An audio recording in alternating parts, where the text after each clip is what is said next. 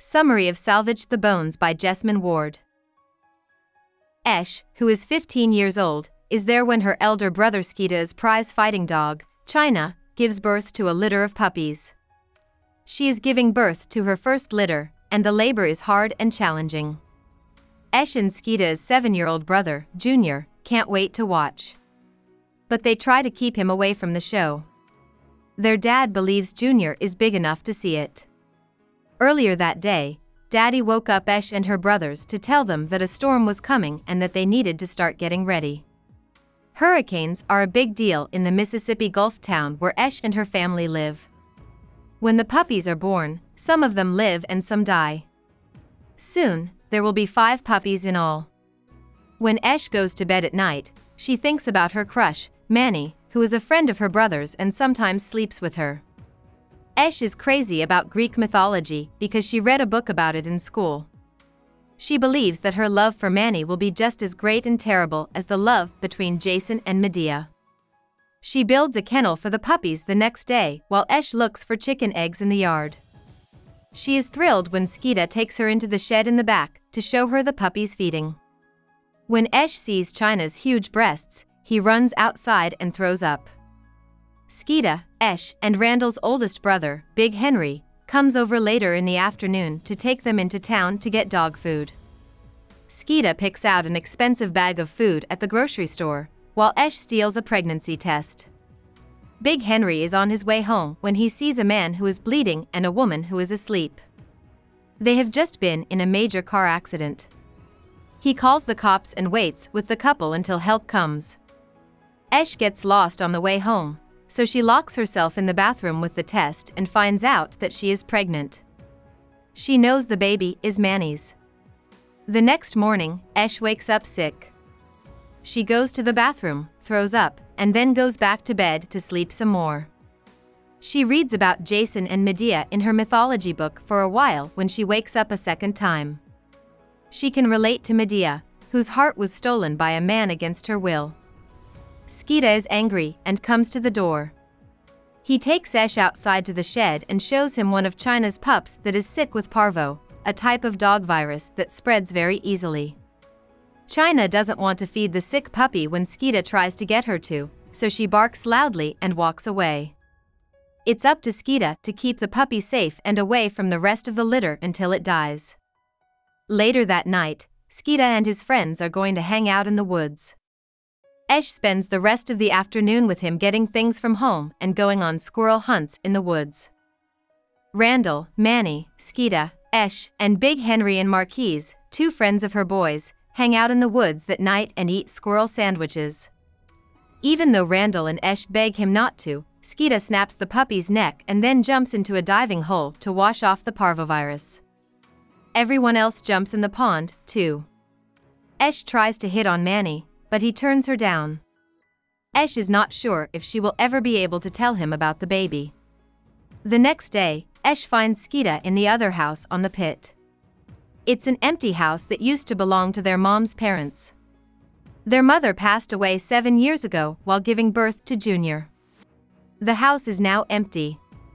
It's only used by Esh and her brothers to find groceries and tools.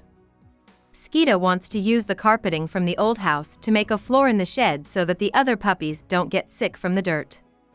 He can sell them for $200 each when they are six weeks old, so he really wants to keep them living so he can get the money. Skeeta asks Esh to go on an adventure with him. He wants to steal cow wormer from a barn on a nearby farm owned by white people. Rico, Manny's cousin, also fights dogs. Rico told Skeeta that cowwormer will get rid of parvo in dogs and keep them from getting other bugs. But Esh and Skeeta find out that Randall, Big Henry, and Junior have followed them when they reach the edge of the woods. Randall tries to talk Skeeta out of breaking into the barn, but Skeeta offers to send Randall to basketball camp with the money he makes from the puppies. This makes Randall feel good, and he agrees to keep watch. Skeeta gets into the barn, but the house owners drive up in their truck with a dog in the back while he's still inside. Randall sounds the warning, and everyone runs through the woods. Esh tries to keep up, but it's hard for him. Skeeta gets out of the barn and runs home with the others, but the dog follows them. When Skeeta gets home, she puts China on the white people's dog and hurts it badly. The hurt dog turns around and runs through the trees to get home.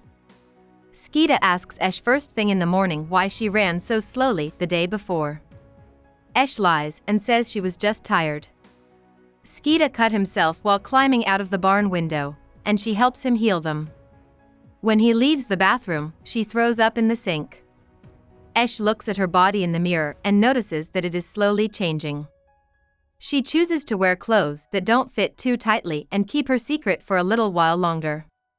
Manny and Skeeta are talking about a dogfight that is coming up in the yard. Skeeta wants to fight China but doesn't want to fight her herself so that no one in the group forgets how strong she is. Mandy says China will be weaker now that she has a child, but Skeeta says she will be stronger because she has something to guard. Esh and Junior help Skeeta and Manny feed China the cow wormer that they mixed up. The next morning, Esh wakes up to the sound of her dad destroying the old chicken coop in the yard. He wants to take it apart to get wood that they can use to board up the house's windows.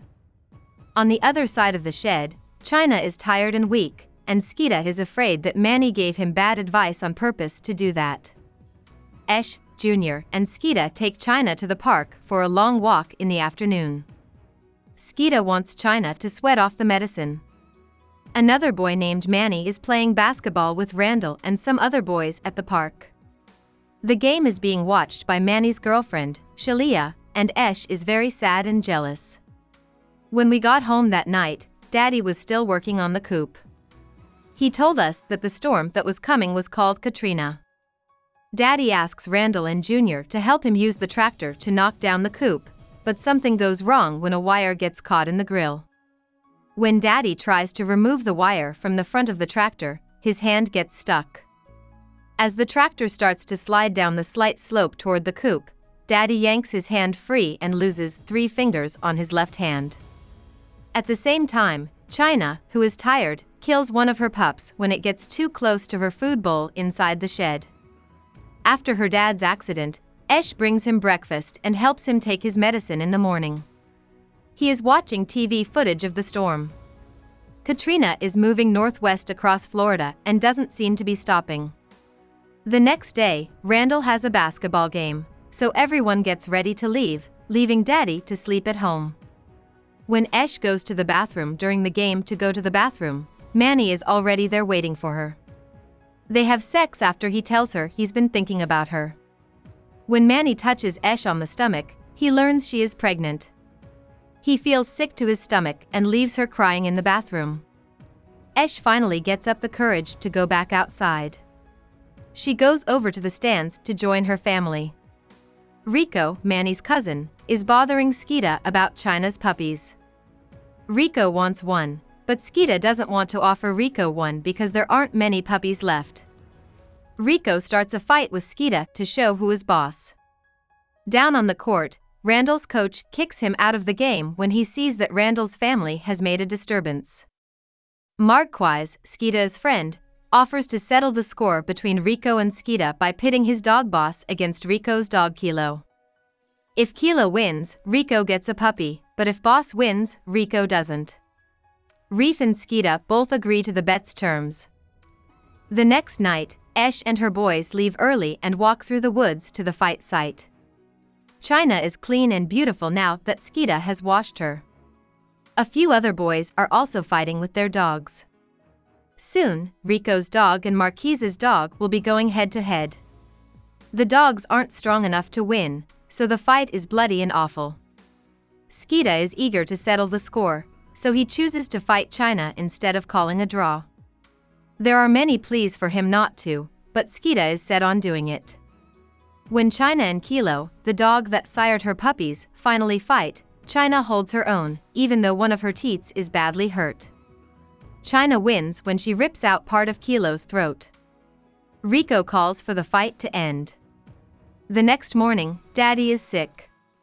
He has been drinking even though his hand medicine told him not to, and all he can do is lie in bed.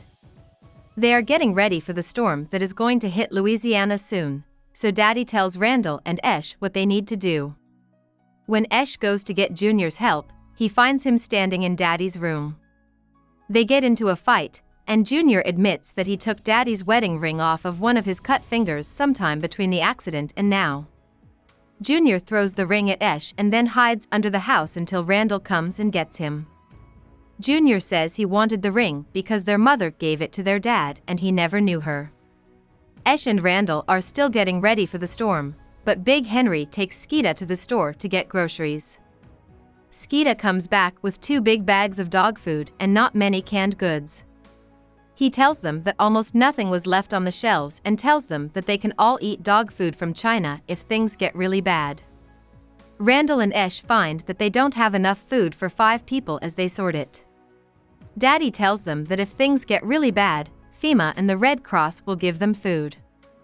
Until then, they'll have to be content with what they have. There are boards on the house, and Randall and Esh teach Junior how to look for eggs in the grass. Once they find a bunch, they put them in a pot and boil them. Manny comes over to talk to Randall, but Esh talks to him first. He calls her a slut and says she sleeps with every boy who comes to the pit when she tells him she is pregnant with his child. Manny gets Esh to attack him, but she is thrown off and left to cry in the dirt. Esh is sad that even though Medea told Manny she was mad, she hasn't been able to get him to love her or even notice her. Randall walks up to Esh and tells her that they need to go back to the white people's house to find supplies. When they get there and break through the boarded up windows, they find that the house is empty and bare. When they get back to the house, Daddy tells them that the storm has grown to a Category 5. When Daddy says no, Skeeta threatens to sleep outside with the dogs during the storms if Daddy doesn't let him bring China and the puppies inside. Daddy finally gives in. The night before the storm, Esh and her brothers sleep in the living room. Esh reads stories to calm herself down because she is afraid for her baby's life. The sky is still dark in the morning, and Esh goes to check on Skeeta and China. There is a terrible noise a few seconds after China barks at the sky. When they go out into the hall, they see that Daddy's room's ceiling has fallen in. Skeeta, Daddy, and the dogs move into the living room. Everyone sits down and enjoys the sound of the wind. Randall soon finds out that the floor is wet. Water is coming fast toward the house when Esh looks out the window. The first floor soon floods, so everyone goes to the attic for safety. But after a while, the attic starts to flood too. Randall and Skeeta quickly cut a hole in the ceiling so that everyone can get out. Skeeta suggests that they climb an oak tree to get to their grandparents' empty house. Her father tries to get Esh to jump off the roof and onto the tree when she doesn't want to, but Skeeta tells her that Esh is pregnant. Esh and Skeeta try to get to the house first and open a window, but Esh trips and falls into the fast-moving water with the puppies. Two of them get washed away, and Esh saves one by putting it into her shirt, but it dies. China swims off into the trees to find the other two puppies. This time, she doesn't listen to Skeeta's calls.